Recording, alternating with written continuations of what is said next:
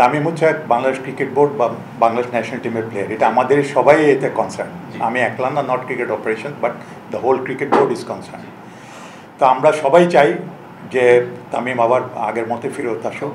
হ্যাঁ একটা বড় একটা ইঞ্জুরি থেকে সে কাটিয়ে উঠছে। এবং সবারই কিন্তু একই কামনা এবং সবাই কিন্তু তাকে সাপোর্ট দিচ্ছে। Not only me not cricket operations আমাদের মাননীয় প্রেসিডেন্ট উনি সবসময় খোঁজ রাখছেন। উনি ফোন করছেন ফিজিওদের সাথে কথা বলছেন। হেড কোচদের সাথে কথা বলছেন তো সবসময় খবর নেওয়া হচ্ছে যে ওর কীরকম প্রগ্রেস হচ্ছে। তা আলহামদুলিল্লাহ সবাই তার প্রগ্রেসে খুশি। তো দেয়ার ইজ নো গ্যাপ আশা করি যখন নাকি সে মাঠে নেমে যাবে কোথাও কোনো গ্যাপ নাই ইনশাল্লাহ আমি বুঝতে পারছি। যে এখানে সেই গ্যাপটা আমার মনে হয় না কোনো গ্যাপের সৃষ্টি হয়েছে বা হবে। কোনো গ্যাপের সৃষ্টি হয় নাই। সব ঠিক হয়ে যাবে। কিছুটা আন্ডার মিসআন্ডারস্ট্যান্ডিং থাকে সব জায়গায়। সব টিমের মধ্যেই থাকে। দ্যাট এটা এমন কোনো বড় ইস্যু না। আশা করি এভরিথিং উইল বি ফাইন আমাদের থেকে সব ধরনের? আমাদের আমাদের থেকে সব ধরনের চেষ্টা থাকবে। I think there will be no gap অবশ্যই আমরা স্বস্তি বোধ করছি। আমরা চাচ্ছিলাম তামিম যত তাড়াতাড়ি হোক ফেরত আসুক। আমরা আগে ক্যালকুলেট করেছিলাম যে এই আঠারো উনিশ তারিখ পর্যন্ত সে রিহ্যাব করবে। রিহ্যাব করার পরে তার ব্যাটিং শুরু করার কথা।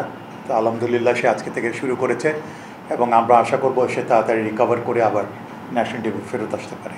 ডিপেন্ড করছে ওর উপরে। আমরা আশা করি, সে তো এখন সোফার যা শুনি যে সে ভালো করছে।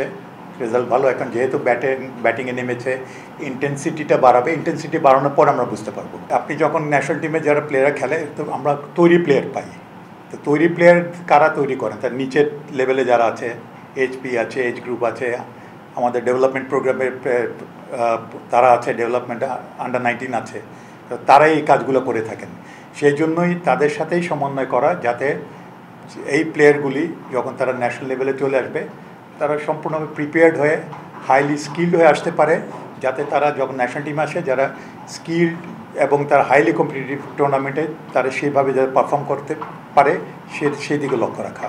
ওয়ালটন ফ্যানের অ্যারোডাইনামিক ব্লেড ঘরের কোনায় কোনায় ঠান্ডা বাতাস ছড়িয়ে হাওয়া বদলে অত ওই নিচের লেভেলে এগুলো দেওয়া হয়ে থাকে না যখন নাকি একটা প্লেয়ার আরও ম্যাচিওর্ড হয় তখন টেকনোলজি তার জন্য আরও ভালো ইউজ করে। যখন এখন যারা আপনি জানেন যারা এই গ্রুপে থাকা আছে যারা তাদের চেষ্টা করা হয় তাদের নিজেদের পরিবেশের থেকে নিজেদের থেকে ন্যাচারালভাবে যাতে ক্রিকেটটা তারা শিখতে পারে সেদিকে লক্ষ্য রাখা।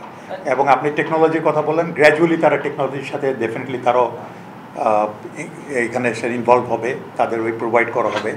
যেটা আপনি দেখেছেন যে আমরা ন্যাশনাল টিমে আমরা এখন ক্যাটাপুল জিপিএস সিস্টেম শুরু করেছি। ওয়ার্কলোডগুলো যাতে ক্যালকুলেট করা যায় একজনের। এগুলো যখন আর একটু আপনি আপার লেভেলে যাবেন ডেফিনেটলি তারা এই এই ফেসিলিটিসগুলো তারা পাবে।